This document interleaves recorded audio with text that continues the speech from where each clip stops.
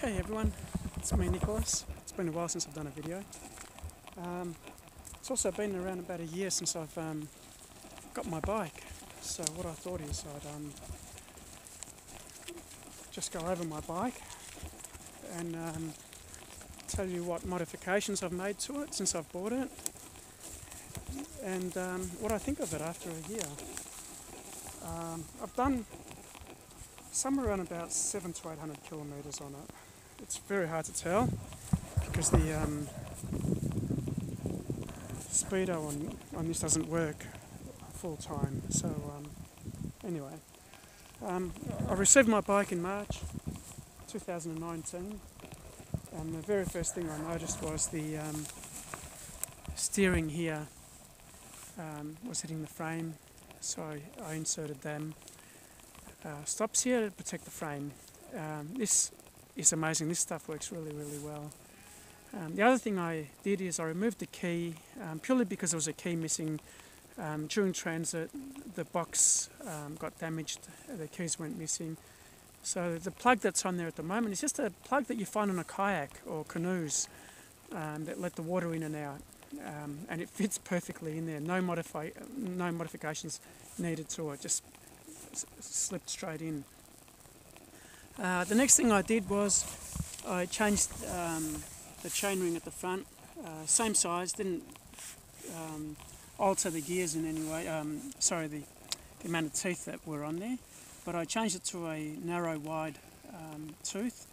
Um, and this one here came with a chain guard, um, which for me is quite handy, and as you can see, there's a few little marks on it. What else have I done? Changed the tyres to Schwalbe Plus mountain bike tyres. Um, the front one's a Maxxis um, and uh, it's an Ardent race tyre, 27.5 by 2.35. Now I didn't buy this, this was given to me because I, um, I ruined the front one going over a rock and um, so a friend of mine who didn't want it on his bike um, gave me this and, um, and I'm using it and it's actually pretty good um, still. Um, the front wheel, a lot of people comment on this. Yes, it's kind of ugly, but um, I live in a hilly area, I don't know if you can tell. this is my house, sort of block. so you can see the road over there going down. Um, and this I live in the mountains, so it's all pretty much bush around here. And um, I need the power. The I've got a 500 watt motor here. It doesn't give enough power to go up hills, especially um, anything more than say 13 to 15 percent. Um, it really, you know, you're starting to work a lot um, over a long period of time. And um, having this uh, front motor here um, I actually purchased it not because of hills, but I purchased it so that I, I, can go on long rides using the front wheel to get me there, and then um, having the back wheel here to um, get me through the rough stuff. You can see the bike's pretty dirty, but I do lube the chain and the gears often. And there's my dog barking. And the same thing with the suspension on the bike, front and back. Uh, anything that moves, pedals, um, uh, the bearings, um, I've just done the bearings. Um, the only drawback with some of our bikes, not all of them, the new ones are okay. I had to change the spokes on the back and I changed the pattern. I, I didn't like how the angles were too far uh, and bending the, the spokes. Some guys have changed the spokes, bigger and better spokes on there.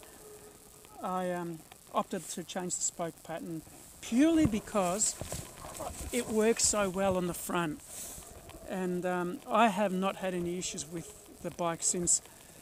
All I've done is um, I serviced it about um, three weeks ago, and I've retensioned all the spokes, front and front and back wheels, and that's about it. The bike has been for me problem free. Um, some of the drawbacks is the um, you can see here there's a bit of wear on the grips. Um, that to me is probably because the grips are so soft, um, or I'm holding for my life when I'm going down the hill. Who knows? Probably a bit of both. But um, that's okay. The brakes have lasted. I've just um, taken them off last week and um, checked them. There's not much left on the back. What I have done, I have filed this down. Most of you have put bigger rotors on there and put spaces in between, filed the spaces, but I didn't want to do that. I, uh, I wanted to do it properly and I um, filed this. It, took me a while because it needed to be precise and I got it on there and it's marvellous. The um, brake sits on there perfectly. Um, as you can see I've removed the sensors at the back because they're not working at the moment. We haven't got the ECU. So until we get them, uh, there's no point having them on there. Um, what else is there? Um, honestly, I've got nothing else to report. The bike um, serves its purpose really well. I just can't wait till we get the ECU so that it can work properly as a um, PAS, you know, with the PAS, PAS um, levels on it. I don't like the um, fact that it hasn't got a torque sensor. Um, I haven't ridden a bike with a torque sensor, but the way I ride with my bike is I use the accelerator as pretty much um, like, a, like a torque sensor in the sense that I want to do most of the pedaling myself, but when I need that extra assistance, I just pull on the throttle a bit and um, it gives me a bit more power just to assist me going up those hills or even riding along uh, for that matter. And um, the suspension overall I'm pretty happy with. I, I, can understand some of you guys changing your suspension. Um, it, you know, for, for, for me it doesn't worry me. I'm not a real fanatic and I don't care if the bike's not perfect either. Um, I don't care about little marks and scratches on it it's a bike. It's meant to be ridden. It's meant to have um, meant to have fun on it. Um, if I was commuting on roads and you know parks, you know, I'd like to keep it clean, but there's no point. As soon as I um, I ride 10 meters, it just gets dirty. So um, as long as I keep all the um, moving parts going, I'm happy. I do like this. I know Nireeka have moved the USBs. I do like it. I do use it to charge my phone. Um, it's a pity that the new bikes don't have it. Um, and you know we haven't got a new ECU that has the USB ports on it, um, which is a, um, a pity. But um, I do like it. I do use it, and it does come in handy. So um, that's my bike. Any comments, leave them below and I'll um, see if I can help you out with that. Thank you.